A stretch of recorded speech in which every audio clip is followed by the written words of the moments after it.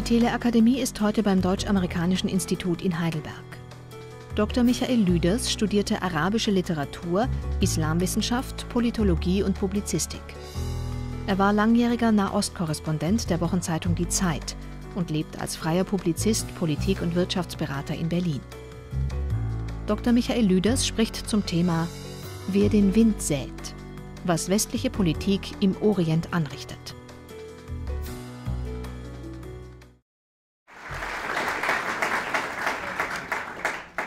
Ja, meine sehr verehrten Damen und Herren, ich freue mich sehr, heute zu Ihnen reden zu dürfen. Sie sind sehr zahlreich erschienen und das äh, ist natürlich eine besondere Herausforderung, denn ich möchte, dass Sie am Ende des Abends das Gefühl haben, dass äh, es sich auch wirklich gelohnt hat, dass es Spaß gemacht hat, sich mit dieser Thematik auseinanderzusetzen, auch wenn es natürlich eine ernste Angelegenheit ist, über die ich berichten möchte.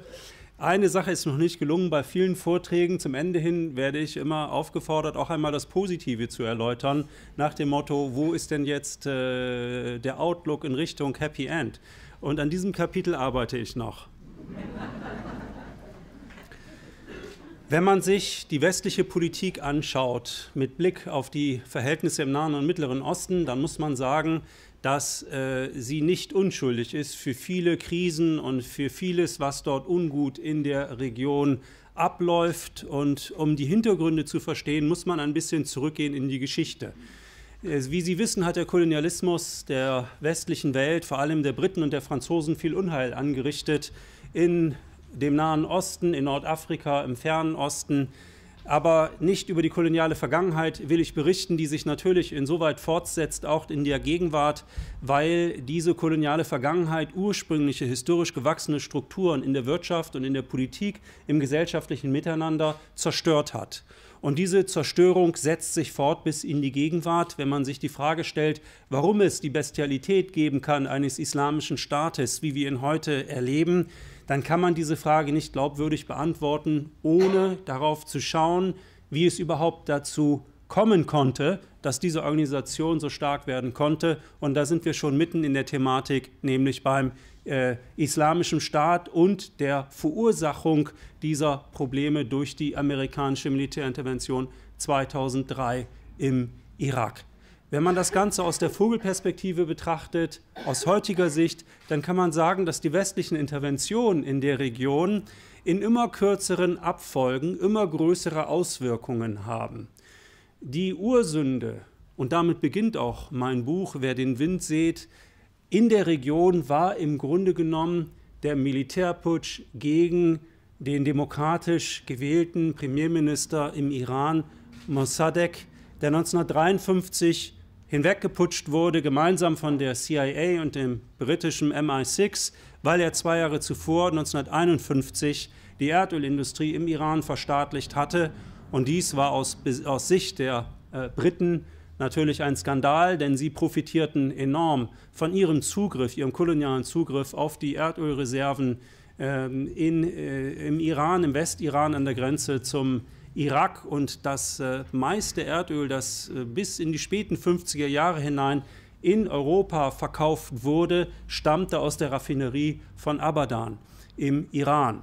Und der Iran war also ein ganz wichtiger äh, Exporteur von Erdöl, aber die Kolonialmächte Großbritannien und andere, mit ihnen die USA nach dem Zweiten Weltkrieg, haben sie, die Amerikaner, die alten Kolonialmächte im Nahen und Mittleren Osten als die dominante Hegemonialmacht abgelöst.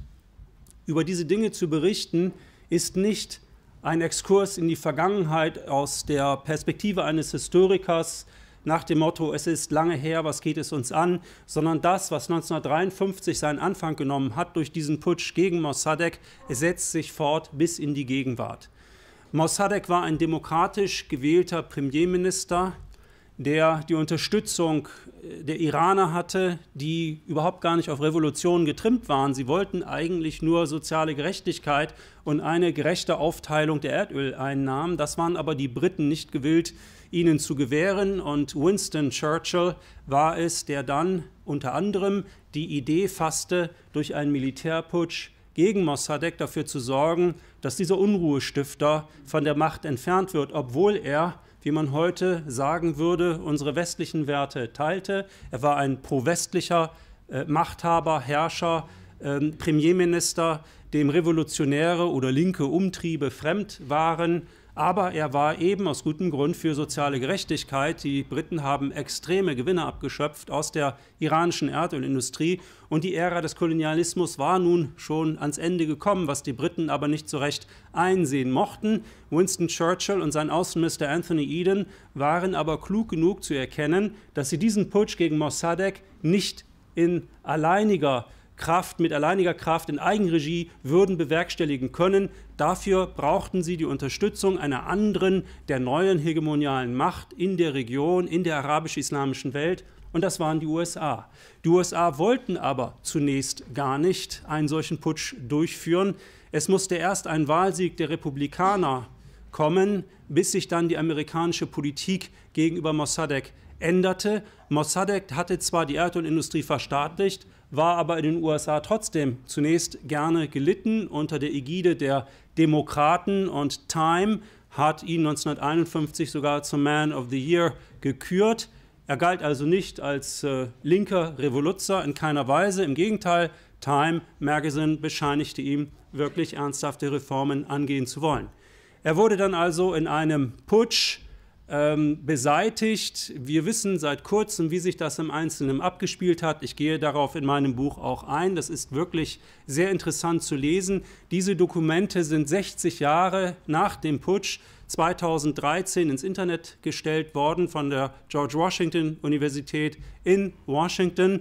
Äh, durch den Freedom of Information Act in den USA war es möglich, den größten Teil dieser Dokumente deklassifizieren zu können und sie eben zugänglich zu machen, bis auf wenige Ausnahmen. Einige Dinge sind immer noch geheim gehalten.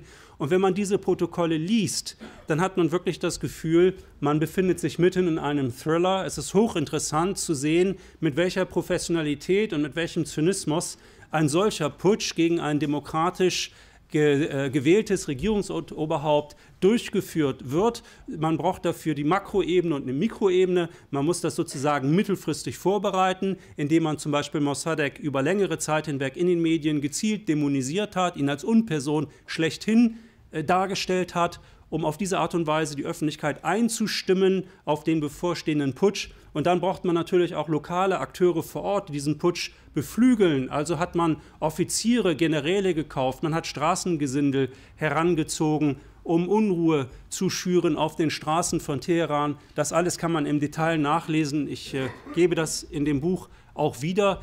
Das liest sich sehr vertraut, denn es ist interessant zu sehen, dass Anthony Eden etwas getan hat als erster, was wir eigentlich bis in die Gegenwart beobachten können, wenn ein Politiker nicht nur in der arabisch-islamischen Welt, aus welchen Gründen auch immer, in Ungnade fällt, indem man ihn nämlich dämonisiert und ihn gleichsetzt mit Hitler.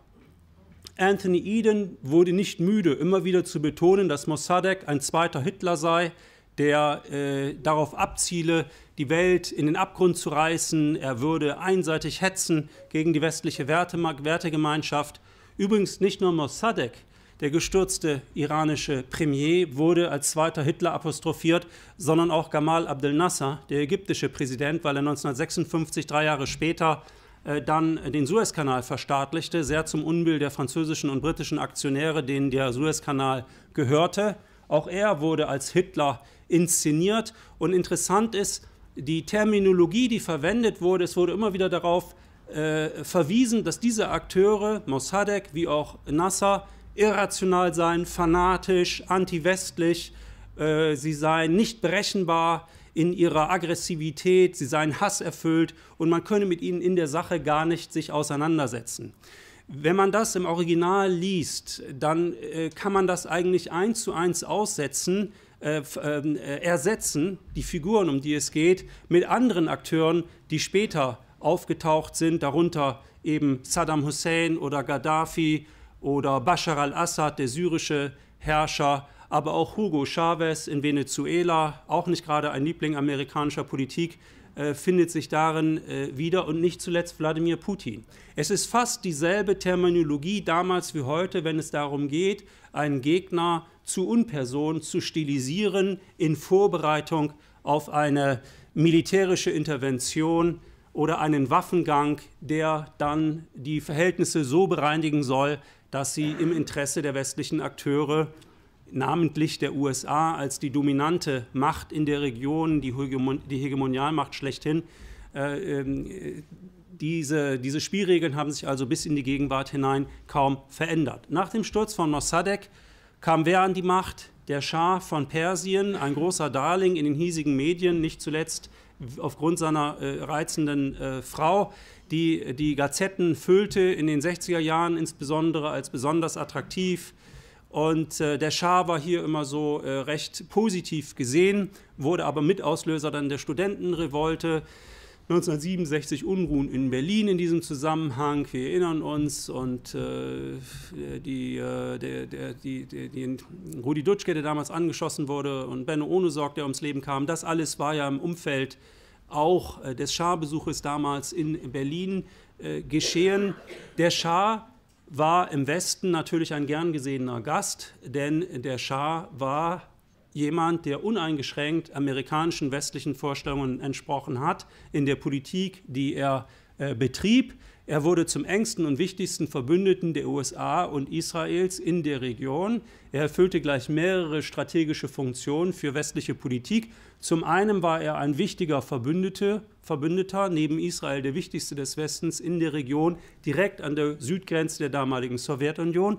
Und gleichzeitig sorgte der Schah mit seinem Sicherheitsapparat dafür, dass alle demokratischen, nationalistisch orientierten Bewegungen nicht nur im Iran, äh, verfolgt wurden, sondern äh, mittelfristig eben auch in der Nachbarschaft niedergehalten wurden. Er war also ein sehr, sehr enger Verbündeter, aber der Schah hat es nicht geschafft, sein Land zu modernisieren. Er hat äh, Modernisierung von oben betrieben, unter anderem indem er auch auf die Atomenergie gesetzt hat, die 1957 im Iran Einzug hielt, sehr frühzeitig also, damals sehr zur Freude der westlichen Investoren, die ihm gerne alles Mögliche an Waffen verkauften. Er war bis zu seinem Sturz der größte Einkäufer amerikanischer Waffen ähm, in der Region, also ein großer Darling westlicher Politik. Allerdings im Innern hat er überwiegend mit Repression geherrscht. Er hatte jenseits der Oberschicht und seines unmittelbaren Machtapparates, für den vor allem der Sabak steht, ein sehr brutaler und gefürchteter Geheimdienst, der ausgebildet wurde von den USA und von Israel, hatte er eigentlich keinen Rückhalt in der eigenen Bevölkerung und aus dem Umfeld von Klerus und Bazar kam es dann zu der iranischen Revolution, die 1979 diese Diktatur des Schahs hinwegfegte. Und hier nun schließt sich die Kreis. Es gibt eigentlich keinen Historiker, der bestreiten würde, dass die islamische Revolution von 1979 nicht die verspätete Antwort gewesen wäre auf den Putsch gegen den demokratisch gewählten Premierminister Mossadegh. Nicht nur er wurde 1953 hinweggeputscht, sondern auch die Strukturen der demokratischen Entwicklung im Iran wurden zerstört durch diesen Putsch und die nachfolgende Diktatur des Schahs, sodass eben nur noch der Klerus überblieb, neben dem Bazar, als Agent des sozialen Wandels. Und die haben dann sozusagen zur Tat, sie sind sie geschritten mit dem Ergebnis, dass es zur islamischen äh, Revolution kam. Und Sie wissen, dass aus Sicht der Mullahs damals jedenfalls es den großen und den kleinen Satan gab, nämlich die USA und Israel. Und diese Apostrophierung erklärt sich vor dem Hintergrund der engen Zusammenarbeit der USA und Israels mit dem Geheimdienstapparat des Schahs. Das ist gewissermaßen die Retourkutsche der Mullahs gewesen, dass sie eben sehr stark antiamerikanisch und anti-israelisch in ihrer Politik ausgerichtet waren, zum Teil noch immer sind, obwohl, das nachlässt. Aber man muss diese Zusammenhänge kennen, weil man sonst zu falschen Ergebnissen kommt in der Beurteilung der Politik der jeweiligen Akteure in der Region.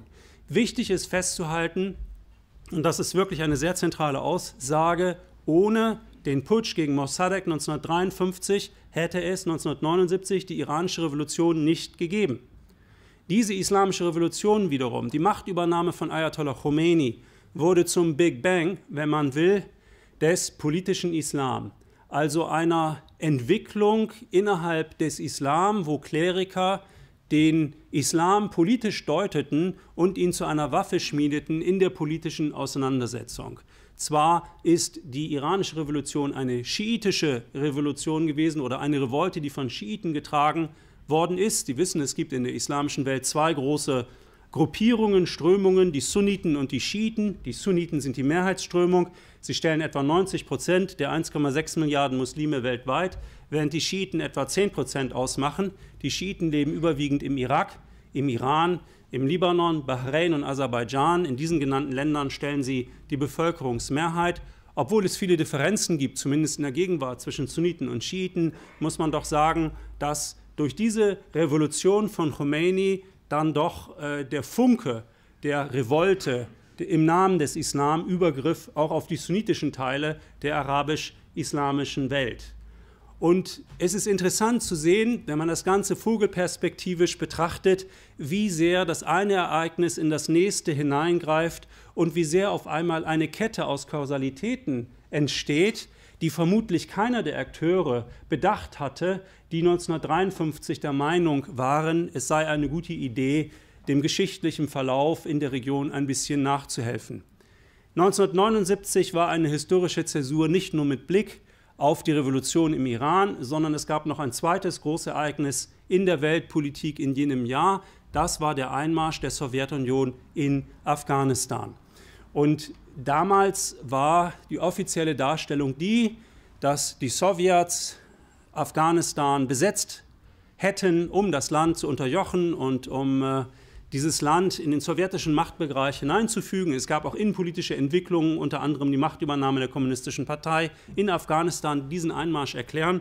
Aber aus heutiger Sicht wissen wir, ich äh, zeige das in dem Buch, um das es hier heute geht, auch, dass die Amerikaner eigentlich sehr clever die Sowjets in eine Falle gelockt haben in Afghanistan, denn sie wollten, dass die Sowjets in Afghanistan einmarschieren und sie haben alles dafür getan, dass dieses auch geschieht.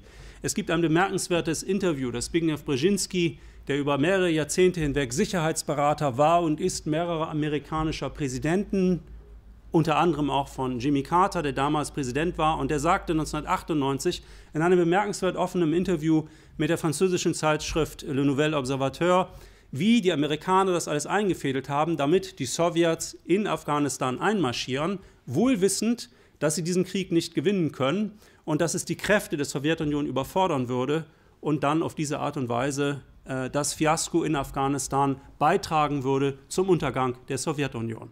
Und der Fragesteller fragt unter anderem ihn, Zbigniew Brzezinski, den Sicherheitsberater der USA, ja, aber Sie haben doch, indem Sie dieses getan haben, doch äh, im Grunde genommen die Büchse der Pandora geöffnet, weil nämlich radikale Islamisten hier hervorgetreten sind.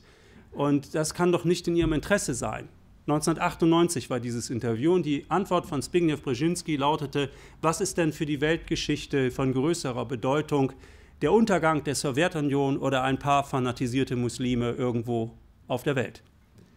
Und das ist ein sehr bemerkenswertes Interview. Ich äh, zitiere das sehr ausführlich weil es eben im Grunde genommen eine Ignoranz offenbart, für die die USA letztendlich teuer bezahlt haben.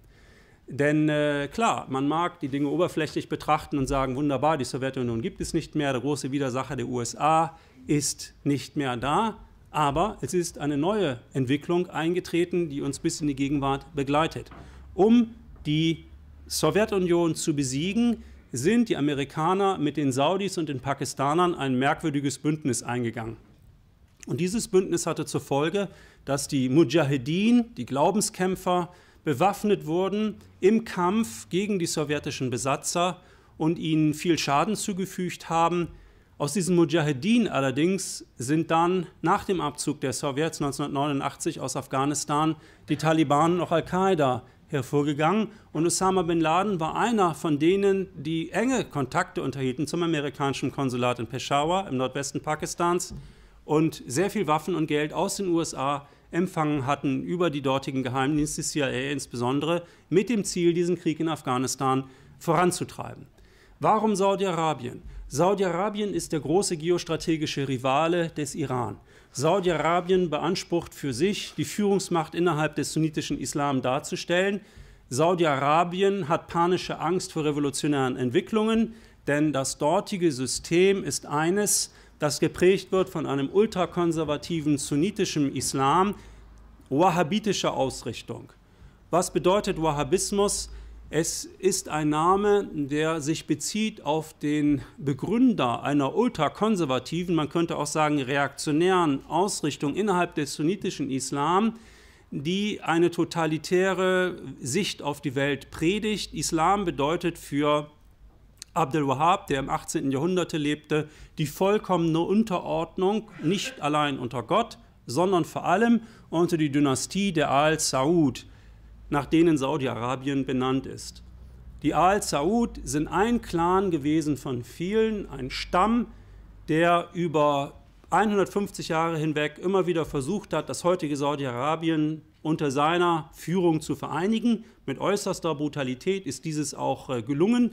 Und indem der Clan der Al-Saud ein Bündnis eingegangen ist mit einem ultrareaktionären religiösen Verband, hatten die Sauds eine religiöse Legitimation für ihre Eroberungsfeldzüge.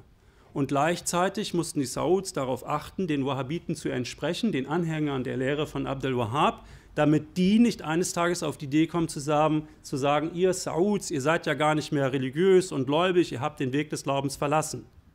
Das erklärt, deren Ultrakonservatismus der Wahhabiten, warum in Saudi-Arabien bis heute Frauen nicht Auto fahren dürfen. Denn aus Sicht der Wahhabiten wäre das ein Zugeständnis, das gleichbedeutend wäre mit dem Eingeständnis erstens einer fragwürdigen Ideologie gefolgt zu sein und zweitens würde es gesehen als ein Machtverlust. Wir wollen das nicht, dass die Frauen Auto fahren, haben sie zur Zeit Mohammeds ja auch nicht getan. Und Deswegen sehen wir auch keine Veranlassung, hier falsche Kompromisse zu machen.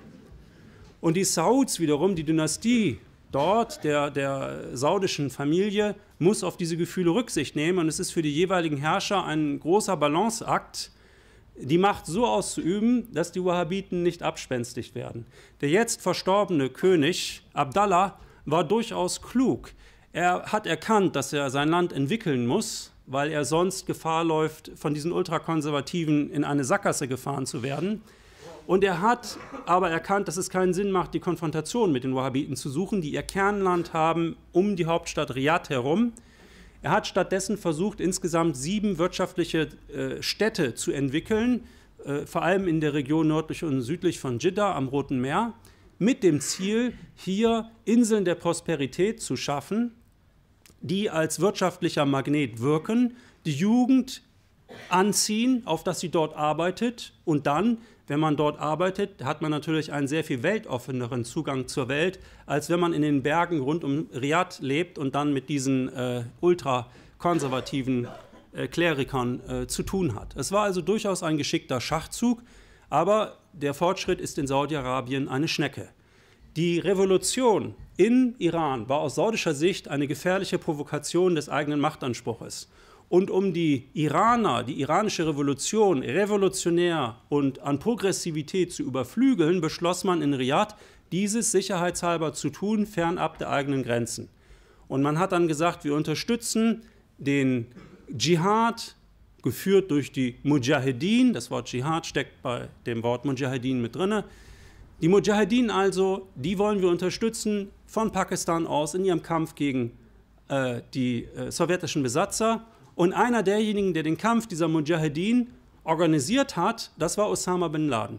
Und man schätzt, dass Mitte der 1980er Jahre etwa 30.000 sogenannte arabische Afghanen in Pakistan lebten, vor allem in der Region um Peshawar, und darauf warteten, an die Front zu gehen im Kampf gegen die Sowjets. Teilweise kamen die mit ihren ganzen Familien und es war richtig äh, Volksfestatmosphäre vielfach auch, bis es dann an die, an die Front ging. Und äh, Osama bin Laden hatte dann die segensreiche Idee, wenn ich so sagen darf, sich zu sagen, Mensch, das sind so viele Kämpfer, äh, ich mache jetzt einfach mal eine Liste, die ich zusammenstelle von diesen ganzen Glaubensbrüdern, die hier in den Kampf ziehen. Und er hat angefangen, im Grunde genommen eine Datei zu erstellen, dieser Tausenden von Kämpfern, die aus arabischen Ländern als Freiwillige kamen, unterstützt und finanziert von den Saudis und von Pakistan um in Afghanistan gegen die Sowjets zu kämpfen. Er hat dann also eine Art Register angelegt und irgendwann wurde das auch publik, dass er dieses Register angelegt hat. Und aus diesem Register, diesem Basisregister, wie er es nannte, diesem Basisregister, das alle Freiwilligen umfasste, also es war eine Datei von mehreren tausend Leuten, wurde dann ein Register und unter dem Begriff Register wurde das dann auch bekannt, auf Arabisch Al-Qaida. Und so kam es also zu dieser Organisation. Und der Grund dafür, dass äh, Osama bin Laden seine Loyalitäten, wenn ich so sagen darf, gewechselt hat, erst hat er mit den Amerikanern gegen die Sowjets gekämpft, dann wurden auf einmal die Amerikaner der Todfeind für ihn und andere radikale Islamisten. Der wesentliche Grund dafür war, dass nachdem Saddam Hussein äh, Kuwait überfallen hatte, hatte er, Osama bin Laden, die segensreiche Idee, dass er doch eigentlich seine Mujahedin im Kampf gegen den Irak nach Kuwait führen wollte. Davon wollten die Saudis aber nichts, nichts wissen, der war ihnen zu radikal. Außerdem haben sich viele äh, Araber, vor allem Saudis, nicht nur Radikale, darüber empört, dass die Amerikaner so stark militärisch präsent waren in Saudi-Arabien. Das haben sie als Blasphemie gesehen und auf einmal wurden dann die Amerikaner äh, zum großen Feind und Osama bin Laden beschloss dann nicht nur die Amerikaner zu bekämpfen, sondern eben auch diejenigen Regime, die besonders eng mit den USA zusammenarbeiten. Und das sind eben vor allem die Saudis gewesen und sie sind es äh, bis heute. Alles hängt mit allem zusammen. Saddam Hussein hat Kuwait überfallen im Jahr 1990. Warum hat er das getan? Ja, wir sind wieder im Jahr 1953, Sturz von Mossadegh, Islamische Revolution als Antwort darauf im Jahr 1979. Im selben Jahr putschte sich Saddam Hussein an die Macht und er glaubte nun, dass der Iran leichte Beute wäre. Geschwächt durch die Revolution könnte man mal eben in diejenigen Teile im Westiran einmarschieren, wo sich das ganze Erdöl befindet und so das äh, Gebiet vom Irak ein bisschen erweitern. Allerdings hatte er den Iran gewaltig unterschätzt. Die Iraner hatten große Probleme, den Angriff der Iraker in den ersten zwei Jahren zurückzuschlagen, aber dann hat sich das militärische Blatt gewendet und die Iraner standen im Begriff, den Irak zu besiegen. Nach zweieinhalb Jahren etwa, der Krieg begann 1980, im Grunde genommen war äh, im Sommer 82 klar, dass der Iran äh, in Bagdad einmarschieren würde, wenn nicht ein Wunder geschieht. Und das geschah dann in Form eines aktiven Engagements unserer amerikanischen Brüder, die sich gesagt haben, äh, alles, aber nicht das. Es kann nicht sein, dass der Iran diesen Krieg gewinnt. Also hat man angefangen, Saddam Hussein massiv zu bewaffnen man hat ihm Kredite gegeben, Darlehen, alles Mögliche. Und dieser Krieg hat sich nochmal um sechs Jahre verlängert, bis 1988. Äh, gleichzeitig war damals schon bekannt, dass Saddam Hussein Giftgas einsetzte, nicht nur gegen die Kurden im eigenen Land, bekannt geworden ist Halabscha im Jahre 1988, ein Angriff mit über 5000 Gastoten, äh, sondern auch die äh, Soldaten, die iranischen Soldaten an der Front wurden also mit Gas äh, äh, belegt und es starben viele und die Iraner haben das vor den Vereinten Nationen noch immer wieder zur Sprache bringen wollen, aber die Amerikaner haben dieses Thema immer blockiert. Auch deswegen, weil ähm, das, das äh, Giftgas, das die Amerikaner, äh, das, die, ähm, äh, das Irak bekam, das Saddam Hussein bekam, wurde hergestellt in den USA, Frankreich, Deutschland überwiegend und es wurde sozusagen nicht publik gemacht. Erst nachdem Saddam Hussein, der große Verbündete der USA im Kampf gegen den Iran, nachdem er Kuwait überfallen hatte 1990. Man kann sagen, etwas despektierlich, die wichtigste Tankstelle der USA in der Region neben Saudi-Arabien. In dem Moment erst fiel Saddam Hussein in Ungnade. Das ging natürlich nicht. Und äh, entsprechend haben die Amerikaner reagiert, indem sie nicht nur Saddam Hussein äh, vertrieben und, und seine Armee aus Kuwait, Kuwait wieder befreiten, mithilfe einer internationalen Koalition, sondern es begann dann eine lange, lange Leidenszeit für die Iraker, die einen furchtbaren Preis dafür bezahlten, dass äh, Saddam Hussein Kuwait befallen, überfallen hatte, weil der Irak nunmehr mit Sanktionen überzogen würde, die es in dieser Form noch nie gegeben hat äh, in der modernen äh, Geschichte. Aber der Reihe nach, warum hat Saddam Hussein Kuwait überfallen? Ja, im Grunde genommen aus, äh, wie soll ich sagen, pekuniären Gründen. Er war klamm. Er hatte kein Geld mehr. Der Krieg hatte Milliarden gekostet, selbstverständlich. Der Irak war bankrott. Die Saudis hatten ihm Geld gegeben, die Golfaraber hatten ihm Geld gegeben, damit er Krieg führt gegen den Iran. Die Amerikaner hatten großzügig Darlehen gewährt, diese Darlehen aber verbunden mit der Auflage, zum Beispiel ihre, ihre, äh, ihren Bedarf an Weizenimporten, die sie brauchten, ausschließlich aus den USA zu importieren. 1988 jedenfalls war der Irak pleite. Das Land hatte schlichtweg kein Geld mehr. Und verzweifelt versuchte das Regime damals, die Amerikaner und die Saudis dazu zu bringen, die Schulden zu erlassen und ihnen Kredite zu gewähren, was sie aber nur mit sehr großen Einschränkungen taten. Dann kam es zu Spannungen mit Kuwait, vor allem um das gemeinsam ausgebeutete Ölfeld Rumaila, das sowohl vom Irak und Kuwait ausgebeutet wurde. Kurzum, irgendwann sagten sich Saddam Hussein und die prima, wir fallen in Kuwait ein, denn dann sind wir der größte Erdölexporteur weltweit und dann können wir die Preise auf dem Ölmarkt diktieren und dann können wir uns auf diese Art und Weise wieder sanieren. Ja, so weit, so gut. Da hat er die Rechnung und den Wirt gemacht, denn er hätte eigentlich wissen können, es gab mehrere amerikanische Doktrin, Doktrinen, darunter äh, eine aus dem Jahre 1980, die klipp und klar besagte, dass die Amerikaner gegebenenfalls auch mit Gewalt gegen alle diejenigen vorgehen, die ihre, die amerikanischen Sicherheits- und Erdölinteressen bedrohen. Und so kam es also zu dem Einmarsch in Kuwait und zu dem Rauswurf von Saddam Hussein. Ein Mysterium in diesem Zusammenhang war, dass im Grunde genommen die Amerikaner sehr genau wussten, dass die, Amer dass die Iraker ihre Truppen zusammenzogen vor den Grenzen von Kuwait. Aber noch eine Woche vor dem Angriff traf sich die äh, amerikanische Botschafterin in Bagdad mit Saddam Hussein, April Gillespie, die ihm erklärte, dass man von amerikanischer Seite aus äh, verstehen könne, dass er, Saddam Hussein, äh, Grenzstreitigkeiten habe mit Kuwait, dass er mm, unbedingt Geld brauche, um sein Land neu aufzustellen. Und aus amerikanischer Sicht seien das äh, regionale Probleme, in die man sich nicht einmischen werde. Das hat Saddam Hussein in gewisser Weise verstanden als Einladung zum Angriff. Und warum diese Botschafterin damals äh, diesen Spruch in dieser Form getätigt hat, das verwundert Historiker noch heute. Hätte sie damals mit der Faust auf den Tisch geschlagen, vielleicht wäre der Lauf der Geschichte dann ein anderer geworden. Nachdem also Kuwait befreit war, oder anders gesagt, als, als äh, Saddam Hussein einmarschiert war in, äh, in Kuwait, haben die Vereinten Nationen sehr weitreichende Wirtschaftssanktionen gegen den Irak verhängt. Nun war ja Kuwait befreit 1991 im Februar. Rein theoretisch hätte man jetzt ja die Sanktionen wieder aufheben können. Aber so zu denken heißt dann doch, äh, das Imperium zu unterschätzen.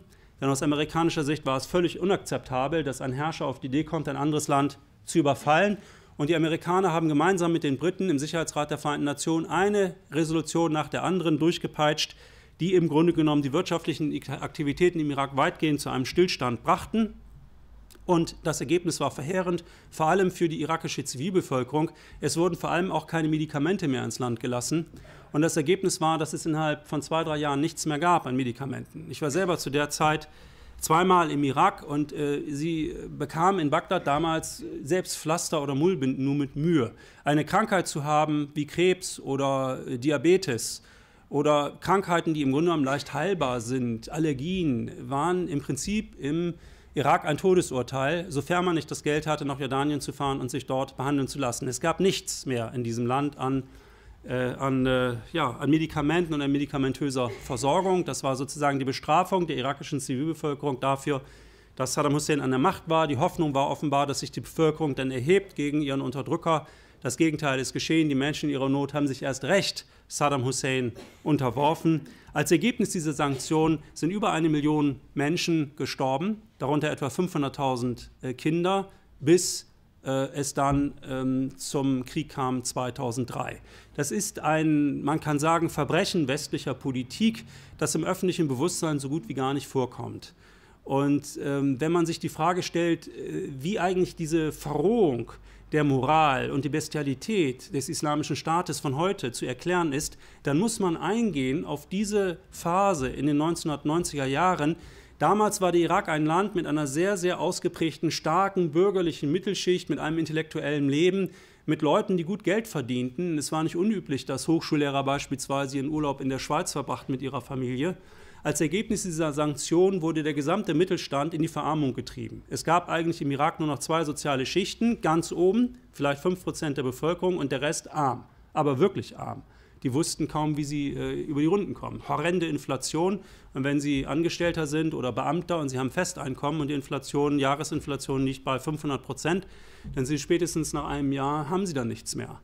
Und äh, es war wirklich, also es waren furchtbare soziale Verhältnisse und alles, was an Zivilität oder an Bürgerlichkeit, an moralischen Werten vorhanden ist in einer Gesellschaft, geht natürlich dann völlig vor die Hunde. Schätzungsweise 500.000 Kinder, also die Hälfte dieser Toten waren äh, Kinder, als Ergebnis dieser Sanktionen. Es gibt ein Interview, das ich auch zitiere, mit äh, Madeleine Albright, damals Außenministerin, äh, sie sagte 1996 in einem, Inter in einem Interview mit dem amerikanischen Nachrichtenmagazin äh, 60 Minutes auf CBS gesendet, da fragte der Interviewer sie, es seien ja nun 500.000 Kinder im Irak gestorben, das sind mehr als Kinder gestorben seien in Hiroshima, ob das denn den Preis wert sei. Und äh, Madeleine Albright antwortet, ja, das ist ein hoher Preis, aber wir denken, dass es wert ist, diesen Preis zu zahlen. Also die Nonchalance, mit der äh, die Mächtigen dieser Welt darüber befinden, wo auf der Welt Menschen sterben und wo nicht, äh, sucht schon ihresgleichen. Äh, als Ergebnis dann ähm, dieser Intervention von äh, Kuwait, also als Saddam Hussein Kuwait überfiel, war eigentlich in den USA klar, der Mann muss weg. Nur wie stellt man das an? Wie kann man das machen? Wie kriegt man ihn los? Und die Sanktionen haben eben nicht funktioniert. Ich meine, die Menschen haben einen furchtbaren Preis bezahlt, aber das Regime saß dennoch relativ gut und fest im Sattel.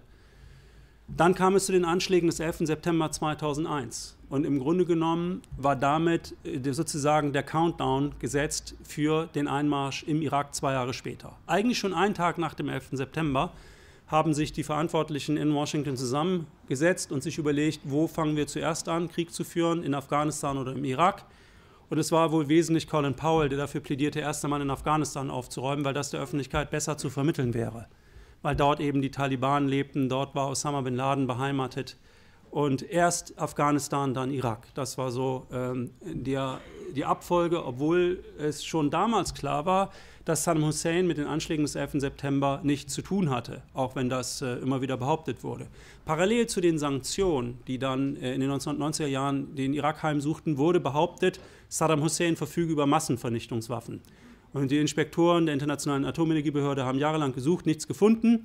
Und die Quintessenz war eben nicht zu sagen, naja, wenn die nichts finden, dann haben die wohl keine Atomwaffen oder Massenvernichtungswaffen, die Iraker, sondern die Botschaft war, die haben noch nicht genügend gesucht. Denn diese äh, Sanktionen waren gekoppelt an diese Frage mit den Massenvernichtungswaffen. Also Sie sehen, wenn die Mächtigen dieser Welt entschlossen sind, ein Volk zugrunde zu richten oder ein Land zu zerstören, dann kann man das relativ mühelos tun. Das ist alles nur eine Frage der Inszenierung und der medialen Vorbereitung. Es muss einem nur gelingen, einen bestimmten Schurken so sehr zu dämonisieren, dass jede, jeder Gedanke mit einem solchen Politiker, so schlimm er sei, auch nur zu reden, Appeasement sei und im Grunde genommen einem neuen Hitlerismus den Weg weisen würde und weil die Guten mit den Bösen natürlich nicht reden können, haben sie eigentlich nur die zivilisatorische Alternative, das Böse vom Antlitz der Welt zu tilgen. Das betrifft Leute wie Saddam Hussein, aber auch Gaddafi und andere. Und im Augenblick erleben wir eine ähnliche Inszenierung, vor allem mit Blick auf Wladimir Putin. Die Kontinuitäten in der Art und Weise, wie Stimmung gemacht wird gegen bestimmte Akteure, ist schon bestechend. Äh, nichts spricht dafür, jetzt Saddam Hussein hochleben zu lassen. Der Mann war natürlich ein furchtbarer Verbrecher und übler Diktator, aber er wurde zu dem, was er war, in seiner ganzen Monstrosität, weil ihn die Amerikaner mit Waffen und Geld unterstützt hatten. Man kann sagen, dass westliche Politik generell eigentlich alle Kriminellen unterstützt, solange sie nur pro-westlich sind. Erst in dem Moment, wo sie nicht pro-westlich sind, werden sie zu Gegnern stilisiert, die man dann gegebenenfalls mit Hilfe von militärischen Interventionen oder aber mithilfe von Wirtschaftssanktionen zu eliminieren äh, versucht. Alles hängt mit allem zusammen in der Region und die Abfolge der zeitlichen Ereignisse wird immer dichter. 26 Jahre lagen zwischen dem Sturz von Mossadegh und der iranischen Revolution 1979. Jetzt aber kommt die Taktfolge, sie wird immer kürzer. Wer hätte vor zwei, drei Jahren den Islamischen Staat gekannt, außer einigen wenigen Experten? Heute kennt ihn jeder. Und viele tun so, als sei das eine völlige Überraschung, dass es den Islamischen Staat gibt. Nein, das ist eigentlich keine völlige Überraschung, sondern die logische Konsequenz einer falschen Politik, die sich unbeschadet aller gemachten Erfahrungen fortsetzt in der Region. Die Amerikaner haben also 2003, wie Sie wissen, das ist ja alles Zeitgeschichte, im Rahmen einer Koalition der Willigen, sind sie im Irak einmarschiert, wieder jedes Völkerrecht, dass Saddam Hussein ein Verbrecher war, geschenkt, müssen wir nicht ernsthaft darüber diskutieren, das war ja natürlich. Aber wie das so ist mit Verbrechern, man kann sie ja stürzen, nur dann was? Wenn man keinen Plan hat für den Tag danach, dann ist das ziemlich schlecht. Genau dieses Dilemma hatten die Amerikaner. Sie haben also Saddam Hussein gestürzt im Rahmen dieser Koalition der Willigen mit ihren treuesten Verbündeten, den Briten. Auch interessant, diese Kontinuitäten zu sehen, von Mossadegh bis in die Gegenwart Amerikaner und Briten sozusagen, ja, also eng verbündet. Und äh, 2003 also der Sturz von Saddam Hussein und kein Plan für den Tag danach. Die Amerikaner haben dann viele Dummheiten begangen in der Art und Weise, wie sie im Irak aufgetreten sind. Die größte Dummheit, die sie begangen haben, war, die irakische Armee, die Geheimdienste und die Baath-Partei, die Wiedergeburtspartei von Saddam Hussein zu verbieten. Dadurch wurden quasi über Nacht Hunderttausende arbeitslos. Und die meisten dieser Arbeitslosen wussten, mit Waffen umzugehen. Der Irak ist ein Land, wie viele Staaten im Nahen Osten, die völlig anders aufgestellt sind als die Staaten bei uns in Europa.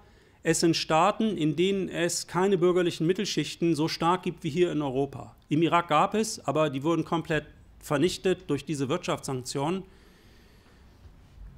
Wenn aber ein Staat völlig zusammenbricht und es keine Ordnung mehr gibt und die Leute versuchen müssen zu überleben, was macht man in so einer Situation? Dann ist Individualität nicht mehr gefragt, sondern braucht man eine Gruppe, ein Kollektiv, ein, ein, ein, eine Solidargemeinschaft, die hilft zu überleben. Und das ist im Kontext einer östlicher Gesellschaften zunächst einmal der Clan, also die erweiterte Großfamilie, dann der Stamm, zu dem man gehört, die religiöse Gruppierung und die Ethnie, die Volksgruppe. Im Irak also die Frage, bin ich Kurde oder bin ich Araber, ethnische Zugehörigkeit. Oder die religiöse Frage, bin ich Sunnit oder bin ich Schiit. Bis zum Sturz von Saddam Hussein war die Frage, ob man Sunnit oder Schiit ist, im Irak eigentlich zweitrangig. Im Alltag spielte das kaum eine Rolle und es gab viele Mischehen. Bagdad war eine gemischte Stadt. Viele Mischehen, hier lebten Schiiten, da Sunniten in derselben Straße, alles kein Problem. Allerdings hatten die Sunniten immer die Macht ausgeübt im Irak seit osmanischer Zeit, obwohl sie nur 20 Prozent der Bevölkerung stellen. Die Bevölkerungsmehrheit liegt auf Seiten der Schiiten. Und nun kam es also zum Sturz von Saddam Hussein zu demokratischen Wahlen. Im Westen glaubt man, wenn man formelle Wahlen abhält und man hat dann einen Wahlsieger, dann ist sozusagen alles wie im Westen. Das ist natürlich nicht der Fall sondern wir haben stattdessen eine Situation gehabt, wo die Schiiten auf einmal an der Macht waren. Ist ja logisch. Ein Schiit wählt eine schiitische Partei, Sunniten eine sunnitische Partei, ein Kurde eine kurdische Partei und so weiter. Also hatten die Schiiten die Macht. Was haben die getan? Erst einmal Rache geübt für Jahrhunderte der Unterdrückung. Das Erdöl im Irak befindet sich im Norden bei den Kurden und bei den Schiiten im Süden. Die Sunniten im Zentrum gehen leer aus. Da ist kein Öl. Dummerweise. Sie brauchen also Geld aus Bagdad. Und der wichtigste Arbeitgeber im Irak ist der Staat. Und die Schiiten sagen, also sie arbeiten viel mit ihrem Mittelfinger, der irgendwie so nach außen sich drängt gegenüber den Sunniten. Die Botschaft war, ihr habt nichts mehr von uns zu erwarten. Die Schiiten haben alles getan, die schiitischen Politiker, um die Sunniten zu marginalisieren. Das Ergebnis war, dass die sunnitischen Stämme den Aufstand gewagt haben gegen die schiitische Zentralregierung und gegen die amerikanischen Besatzer, um ihren Machtverlust auszugleichen. Eine, eine der Gruppen, die damals den Aufstand machten, war Al-Qaida, aber das war eben nur eine von vielen. Es war im Grunde genommen eine Volkserhebung der Sunniten, kann man sagen. Die Amerikaner haben es aber immer so dargestellt, als würden sie Al-Qaida bekämpfen im Irak. In Wirklichkeit haben sie die Aufstandsbewegung der Sunniten bekämpft, die entstanden ist als Reaktion auf die blödsinnige Entscheidung der amerikanischen Regierung, namentlich des damaligen stellvertretenden Verteidigungsministers Paul Wolfowitz, die irakische Armee aufzulösen. Al-Qaida im Irak hat sich dann sehr schnell überlebt, vor allem deswegen, weil Al-Qaida im Irak mehr so diese internationalistische Agenda hatte, nach dem Motto, wir wollen ein zweites 9-11. Aber die Iraker, die Sunniten im Irak wollten das nicht. Das hat die nicht interessiert. Denen ging es um Bagdad. Und da ist eine neue Bewegung entstanden, nachdem Zakawi, der Führer von Al-Qaida im Irak, 2006 von den Amerikanern getötet worden war. Und diese neue Bewegung nannte sich dann recht bald Islamischer Staat im Irak. Und dieser islamische Staat, der verschiedene Führer hatte, bis dann Kalif Ibrahim 2008 anfing, die Führung zu übernehmen, war zunächst eine innerakische Veranstaltung, gut vernetzt in den dortigen Stämmen. Und wahrscheinlich wäre aus diesem islamischen Staat im Irak eine lokale Aufstandsbewegung geblieben, wäre nicht ein zweiter Konflikt hinzugekommen, der das Ganze nochmal explosiv hochgejazzt hat, nämlich der Krieg in Syrien. Der Krieg in Syrien war zunächst einer, der erwuchs aus einer Aufstandsbewegung gegen das Regime von Bashar al-Assad. Und aus dieser Aufstandsbewegung wurde dann sehr schnell ein Stellvertreterkrieg. Ein Bürgerkrieg zunächst einmal und dann ein Stellvertreterkrieg. Die Frage, welche religiöse Gruppe, welche ethnische Gruppierung, ist sehr, sehr wesentlich. Im Nahen Osten, vor allem dann, wenn Staaten zerfallen. Ich muss noch nachtragen, dass im Zuge der gewalttätigen Auseinandersetzungen im Irak Bagdad eine geteilte Stadt wurde. Sunniten mussten von Schiiten dominierte Viertel verlassen und umgekehrt. Weil wer als Sunnit in eine schiitische Straßensperre gerät, der überlebt nicht und umgekehrt. Also wurden Familien getrennt, Stadtviertel getrennt, überall sind Mauern in Bagdad und kein Sunnit würde so tollkühn sein, in ein schiitisches Viertel zu gehen oder umgekehrt. Sie haben verfolgt, es gab jetzt eine Offensive der irakischen Armee gegen die Stadt Tikrit, die Heimatstadt von Saddam Hussein, eine Hochburg des Sunniten. Diese Offensive ist jetzt abgebrochen worden. Warum? Ist doch ganz klar. Hochburg des Sunniten, die irakische Armee greift an. Die irakische Armee, wer ist das? Das sind Schiiten. Und nicht nur die irakische Armee hat gekämpft, sondern auch schiitische Milizen, die vom Iran unterstützt und bewaffnet werden. Ja, die Sunniten denken doch nicht daran, sich von denen befreien zu lassen. Wenn die die Alternative haben, islamischer Staat oder schiitische Miliz, wählen die den islamischen Staat. Da geht es nicht um Ideologie, sondern ums Überleben. Denn eine schiitische Miliz, die Tikrit erobert, die Heimatstadt von Saddam Hussein, der so viel Unheil gebracht hat über die Schiiten, äh, das überlebt man im Zweifel nicht. Die Menschen dort unter solchen Bedingungen, wenn ein Staat zertrümmert ist, denken nicht in irgendwelchen hehren Sphären. Demokratie, Freiheit, Menschenrechte. Sie sind vielleicht Stammesvorsteher eines Dorfes und die Amerikaner kommen zu ihnen und sagen, hey Bruder, wir brauchen dich, du kriegst Waffen, du kriegst Geld, du kämpfst gegen Al-Qaida oder gegen den Islamischen Staat. Dann sage ich als Stammesführer natürlich, klar, logisch, mache ich. Ich lege mich doch nicht mit den Amerikanern an. Ich weiß allerdings auch, wenn ich nicht ganz blöd bin, dass sie das ja nicht tun, weil ich so ein toller Typ bin, sondern sie brauchen mich als jemanden, der für sie kämpft. Wenn zwei Monate später die Frontlinien sich verschoben haben und auf einmal kommen irgendwelche Kämpfer von dem Islamischen Staat und sagen mir, hör zu, Dorfschulze, entweder du kommst zu unserer Seite und kämpfst auf unserer Seite mit gegen die Amerikaner oder wir machen ein Dorfblatt, ja ist doch klar, was die betreffende Person dann tut. So können sich also Allianzen ändern von einem Tag auf den anderen. Das hat nichts zu tun mit Ideologie oder sonst wie, sondern es geht einfach nur ums Überleben. Und das ist ja auch ein sehr starkes Motiv. Das muss man wissen, um zu erkennen, warum es eine Unterscheidung in Gut und Böse in solchen Konflikten, wo alles zertrümmert ist, nicht geben kann. Im Syrien gibt es eine Bevölkerungsmehrheit der Sunniten, also anders als im Irak. Dort haben die Schiiten die Mehrheit. In Syrien haben die Sunniten die Mehrheit. Aber wer hat die Macht? Die Alawiten. Eine religiöse Minderheit, die vielleicht 15 Prozent des Landes ausmacht, gilt gemeinhin als schiitische Sekte. Sie haben die Macht und die waren aber nicht doof. Die Leute um Hafiz al-Assad, dem Vater des jetzigen Diktators Bashar al-Assad, wenn ich als eine kleine Minderheit die Macht ausübe in einem ganzen Land, brauche ich Bündnispartner. Was hat also Bashar al-Assad gemacht und Hafiz al-Assad, sein Vater? Sie haben der sunnitischen Mittelschicht, den Händlern und Handwerkern in der Hauptstadt Damaskus und in der Wirtschaftsmetropole Aleppo signalisiert, hört zu Leute, ihr könnt Geld verdienen, so viel ihr wollt, interessiert uns überhaupt gar nicht, könnt ihr alles machen, aber stellt nicht die Machtfrage. Die Macht haben wir, aber wir lassen euch Geld verdienen, so viel ihr wollt. Dieselbe Botschaft haben die Alawiten gerichtet an die anderen religiösen Minderheiten, vor allem die Christen und die Drusen. Betet an, wen immer ihr anbeten wollt, Unseren Segen habt ihr, wir werden nicht versuchen, euch zu missionieren, interessiert uns nicht im geringsten, lebt euer Leben, stellt aber nicht die Machtfrage.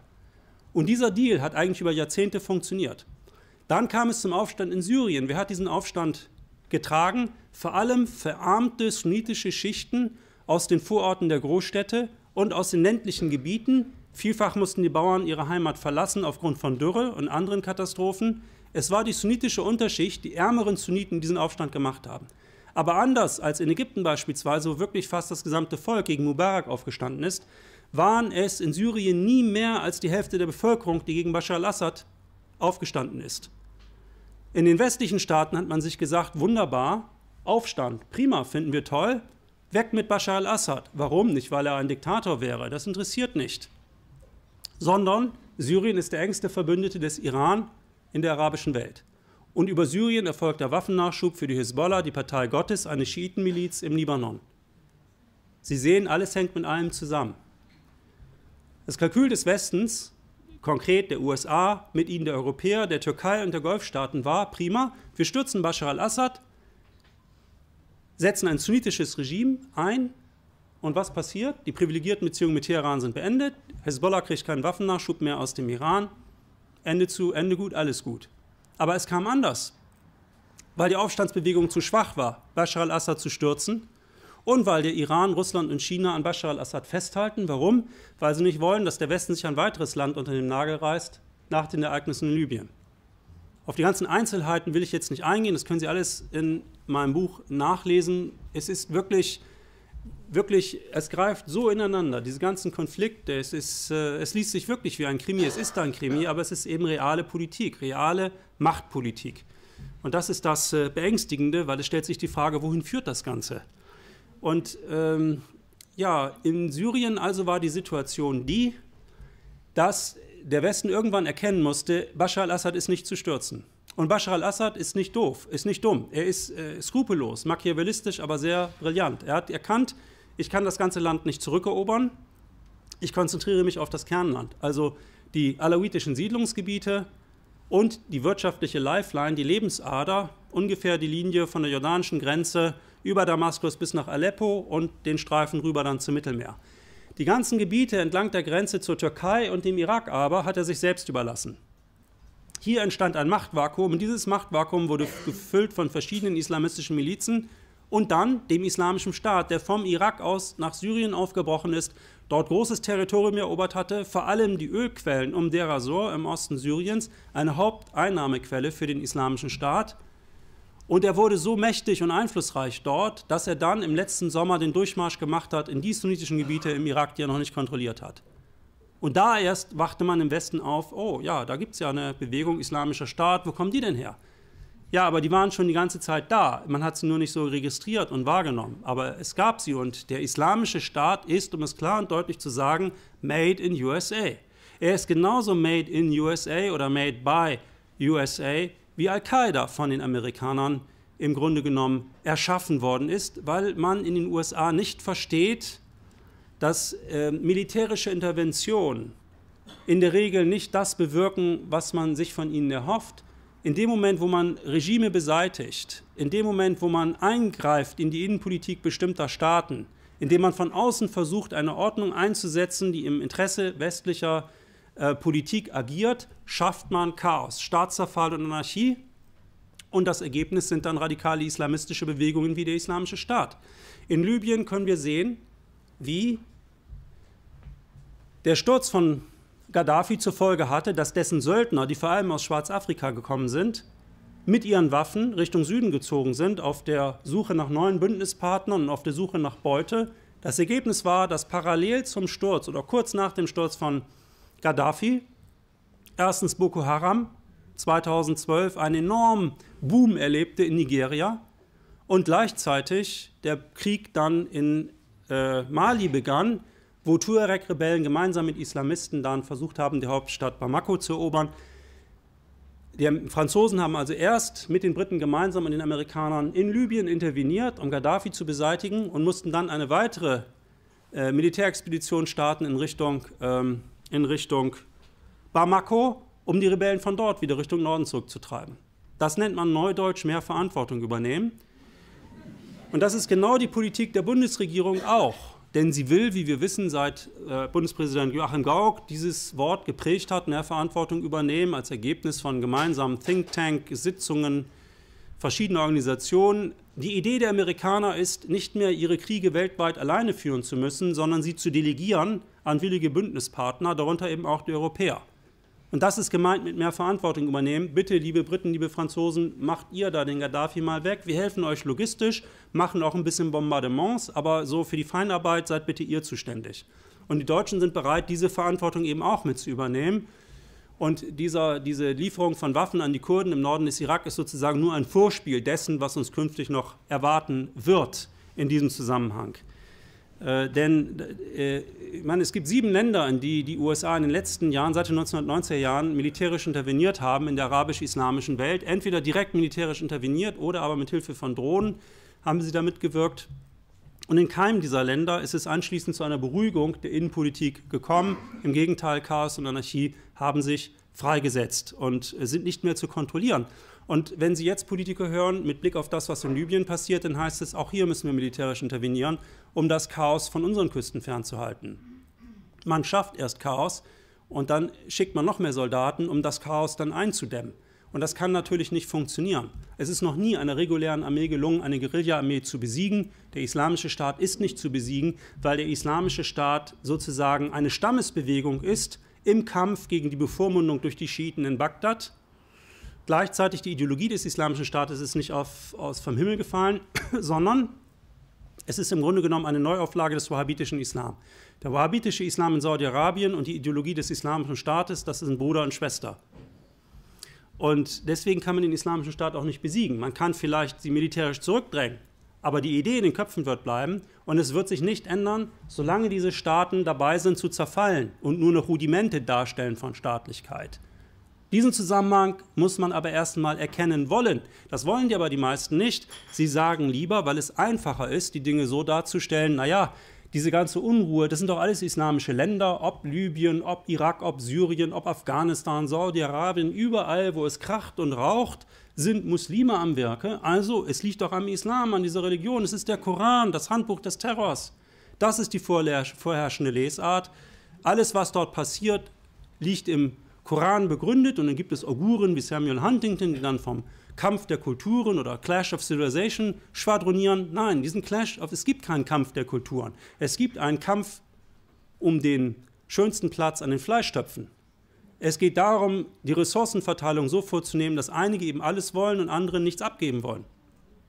Aber es gibt keinen Kampf der Kulturen. Die meisten Opfer des islamischen Staates und dieser ganzen islamistischen Terrorbewegung sind ja auch nicht wir, sondern Muslime, und zwar gemäßigte Muslime, die mit deren Ideologie nichts zu schaffen haben wollen. Wenn ein Staat erstmal zusammengebrochen ist, dann passiert das, was wir jetzt hier beobachten können im Irak, in Syrien. Und wenn man die unglaubliche Brutalität verstehen will, dann muss man eingehen auf das, was in den 1990er Jahren im Irak äh, passiert ist. Als Humanist können Sie im Irak nicht überleben. Der Humanismus ist spätestens tot gewesen, als die Sanktionen verhängt wurden gegen den Irak. Seither geht es nur noch ums Überleben. Nur noch um das Überleben. Es gibt keine Familie, die nicht Angehörige verloren hätte durch die Sanktionen oder durch den Krieg. Über zwei Millionen Iraker sind gestorben seit 1990. Also äh, dazu kommen nochmal ähm, mehrere hunderttausend Tote im Krieg gegen den Iran. Also ein furchtbarer Blutzoll. Und der Grund für die Rückständigkeit und für die viele Brutalität und die Ausweglosigkeit in diesem Teil der Welt ist begründet in der Unfähigkeit der jeweiligen Regime, die keinerlei Interesse daran haben, ihre Gesellschaften zu entwickeln und konstruktiv nach vorne zu entwickeln, sondern nur an ihrem eigenen Machterhalt interessiert sind, an dem Erhalt der Macht eines bestimmten Clans, einer bestimmten Gruppe auf Kosten der anderen. Und jede dieser Gruppen an der Macht weiß natürlich ganz genau, wenn wir die Macht verlieren, dann gibt es eine Nacht der langen Messer, dann werden wir massakriert die Ideologie, die, die Vorstellung derer an der Macht ist immer, the winner takes it all. Und wir werden die Macht verteidigen bis zum letzten Blutstropfen. Das ist genau die Mentalität eines Bashar al-Assad. Das Problem ist nur, dass seine Gegner nicht viel anders ticken als er. Die sind nicht besser als er. Die würden, wenn sie hätten, auch Fassbomben abwerfen auf Zivilisten, um den Feind zu schwächen. Die Vorstellung ist eine Stammesvorstellung. Meine Leute, deine Leute. Ich will alle Macht, du bist mein Feind. Du kannst dich mir unterwerfen, wenn du es nicht tust, bringe ich dich um. Ja, und diese Kausalitäten sind also sehr unerfreulich und sie werden verschärft durch eine westliche Interventionspolitik, die dazu führt, dass ein Krieg aus dem nächsten entsteht und ein Ende der Gewaltspirale gar nicht abzusehen ist. Und nun komme ich zum Ende. Es gibt so viel zu berichten und zu erwähnen und so vieles hängt mit vielen zusammen. Auf den iranischen Atomstreit bin ich jetzt gar nicht eingegangen, aber der iranische Atomstreit ist natürlich auch ein Ergebnis des Putsches gegen Mossadegh und der iranischen Revolution. Warum will der Westen um jeden Preis den Iran eingehegt sehen? Offiziell aufgrund seiner radikalen Politik, weil er angeblich Israel bedroht, was der israelische Geheimdienst der Mossad allerdings in Abrede stellt. Es gäbe keinerlei Hinweise darauf, dass der Iran eine Atombombe baue, sagen auch amerikanische Geheimdienste. Trotzdem wird aus dem Thema Iran ein riesiges Ding gemacht. Warum? Weil der Iran der einzige Staat ist im weiten Raum zwischen Marokko und Indonesien, der eine nicht pro-westliche Politik verfolgt. Das ist der Grund, warum dieses Land isoliert werden soll, warum dieses Land klein gemacht werden soll. Wer sich nicht den hegemonialen Interessen des Westens, sprich den Vorstellungen der USA unterwirft, der wird nach Möglichkeit klein gemacht. Das gilt nicht nur für die arabisch-islamische Welt, auch für andere Krisenherde auf diesem Globus. Und gleichzeitig erleben wir, dass die Welt insgesamt im Umbruch sich befindet. Die Zeit, wo zwei Machtblöcke sich gegenüberstanden, westliche Welt und Sowjetunion, das ist vorbei. Aber auch die Zeit der Hegemonie nur der einen Seite, nämlich der USA seit 1989, auch diese Ära nähert sich dem Ende. Andere Akteure treten auf in der, in der internationalen Politik, China, Russland, Indien, die BRICS-Staaten, aber auch transnationale Akteure wie etwa die großen äh, Internetfirmen Amazon, Google und andere, es gibt ein immer komplexer werdendes Geflecht von machtpolitischen Beziehungen und, und Gruppierungen, die nach Einfluss verlangen. Und die Antwort der USA darauf ist, ihre Hegemonie um keinen Preis relativieren zu wollen. Die Vorstellung ist also nicht, dass man auf die anderen Akteure zugeht, etwa Russland oder China, nach dem Motto Let's make a deal. Ihr habt eure Interessen, wir haben unsere Interessen. Wir reden jetzt mal nicht über Gut und Böse, sondern wir versuchen pragmatische Kompromisse zu finden. Das genau ist nicht die Herangehensweise der USA und in ihrem, Vor und in ihrem Fahrwasser der Europäischen Union, sondern die Vorstellung ist, jeder, der unseren Vorstellungen nicht genügt, nicht folgt, den versuchen wir zu isolieren. Das können Sie genauso gut, obwohl ich dieses Thema hier nicht anschneiden werde, weil es ein eigenes abendfüllendes Thema ist, das können Sie im Ukraine-Konflikt wunderbar beobachten. Es gibt sicherlich vieles, gar keine Frage, zu kritisieren an russischer Politik und namentlich an Wladimir Putin. Aber die Dämonisierung, der sich Putin ausgesetzt sieht und die Art und Weise, wie in den Medien über Putin berichtet wird, er ist ja offenbar ein Satan, der bisher äh, noch gar nicht so richtig in seiner ganzen Boshaftigkeit erkannt worden ist, das ist natürlich alles sehr irrational und lenkt davon ab, dass natürlich auch westliche Akteure ein Interesse haben in der Ukraine, aber westliche Akteure werden niemals über eigene Interessen reden. Sie reden lieber über Moral, sie reden lieber über ihre Werte, die sie verteidigen. Aber wenn man genauer hinguckt, stellt man natürlich fest, dass das alles eine wunderbare Heuchelei ist. Und damit komme ich auch allmählich zum Ende. Der Themenbereich, der Konfliktbereich, wo man diese Heuchelei westlicher Politik am, wie soll ich sagen, äh, am nachhaltigsten studieren kann, das ist der Konflikt zwischen Israelis und Palästinensern.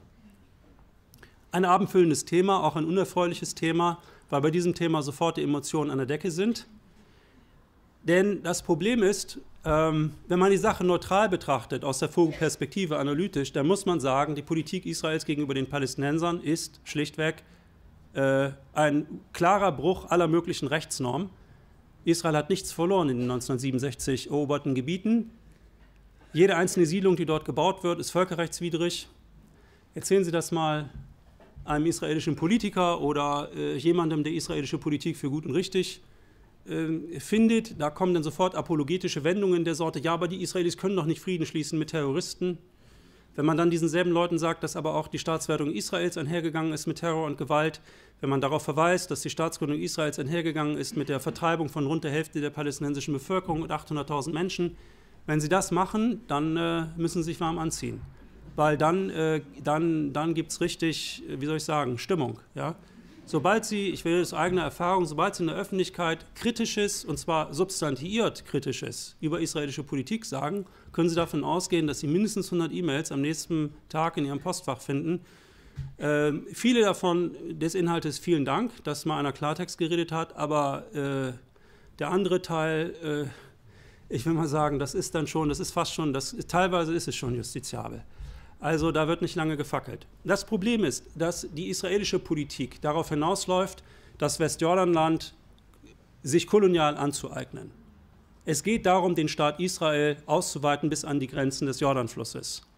Der Gazastreifen wird sich selber überlassen, ist abgeriegelt, wird in regelmäßigen Abständen niederkartätscht, egal wie viele Tote es dabei gibt. Das interessiert in der westlichen Politik niemanden. Äh, die Vereinten Nationen sagen, dass 2020 der Gazastreifen gar nicht mehr bewohnt sein kann, weil es dort schlichtweg keine Ressourcen mehr gibt, die Böden versalzen. Äh, es, ist nicht Möglichkeit, es gibt nicht mehr die Möglichkeit, dort Landwirtschaft zu betreiben. Es gibt dort keine Jobs. Die Häuser sind kaputt. Die Menschen leben unter erbarmungswürdigsten Bedingungen, haben keine Perspektive, sind sich selber überlassen. Ähm, und äh, es wird keinen palästinensischen Staat geben, das ist amtlich. Es wird ihn nicht geben. Warum nicht? Weil die Ultranationalisten in Israel, die politisch den Ton angeben, aus ideologischen Gründen niemals das Westjordanland den Palästinensern überlassen werden. Aus ihrer Sicht ist das Westjordanland Judäa und Samaria, Teil des, biblischen, des biblisch verheißenen Eretz Israel, jüdisches Land. Dass die Palästinenser da sind, naja gut, warum sind sie denn auch da? Das arabische, die arabische Welt ist ja groß. Sollen sie nach in Irak auswandern oder in Sudan? Aber jedenfalls, das ist Eretz Israel.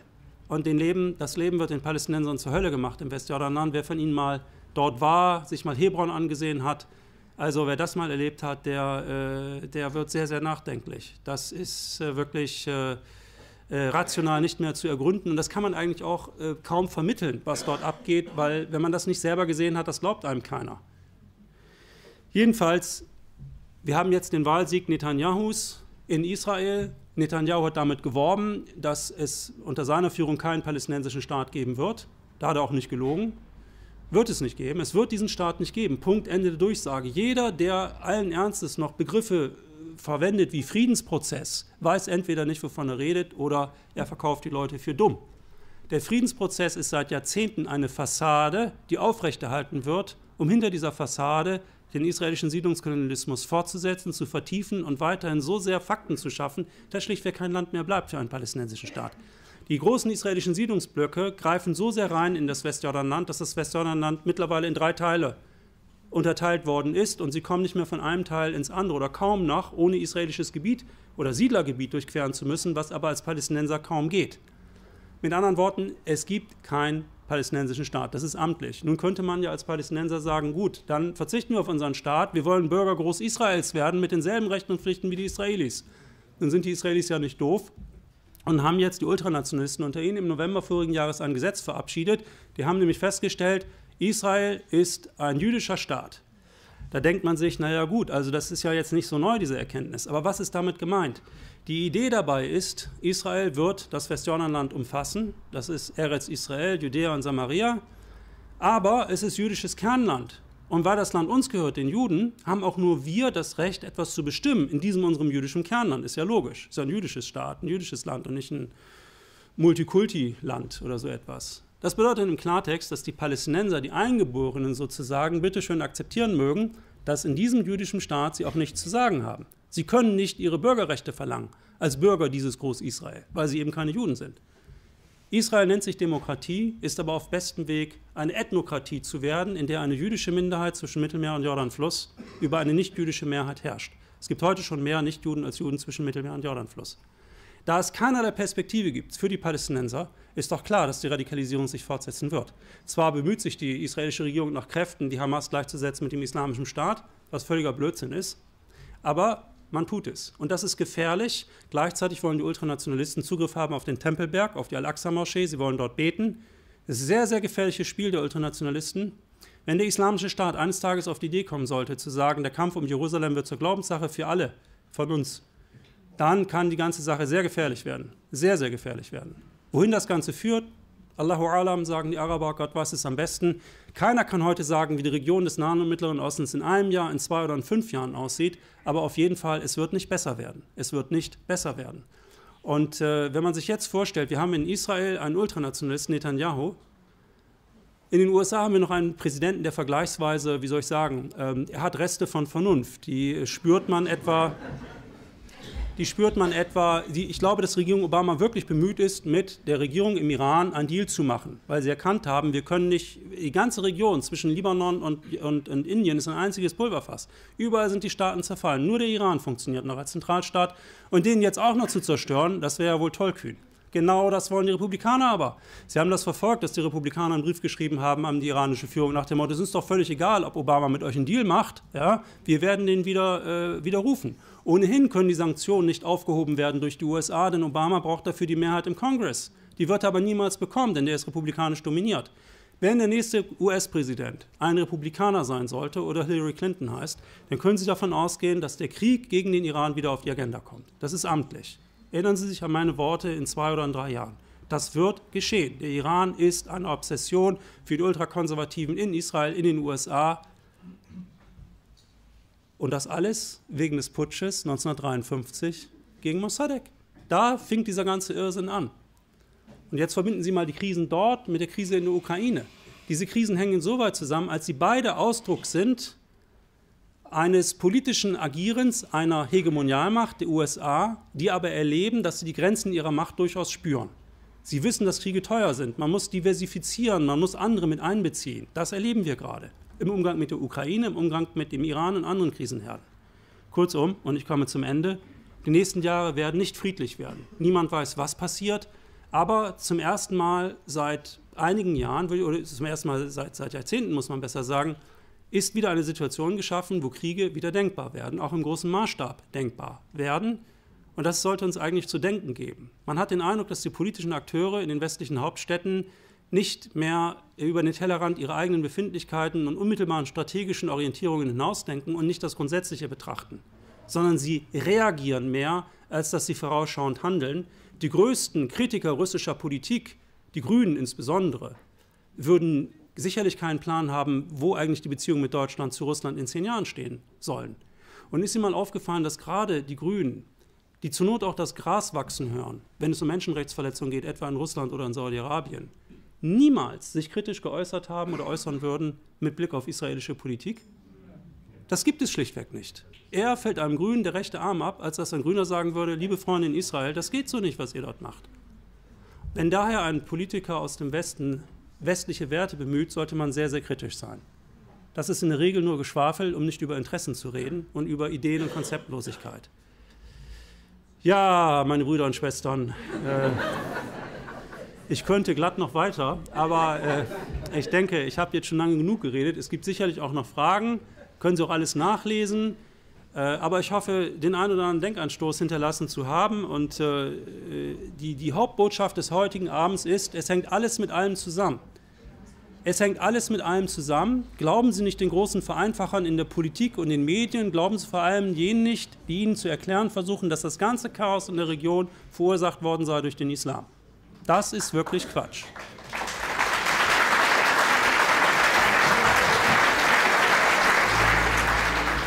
Die Teleakademie war heute beim Deutsch-Amerikanischen Institut in Heidelberg. Es sprach Dr. Michael Lüders zum Thema Wer den Wind sät, was westliche Politik im Orient anrichtet.